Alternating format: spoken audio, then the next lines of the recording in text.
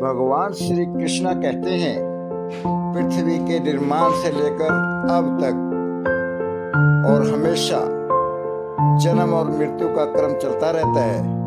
अतः मनुष्य को कभी भी मृत्यु से डरना नहीं चाहिए और अपने कार्य को सही तरीके से अंजाम देना चाहिए और वर्तमान में जीना चाहिए।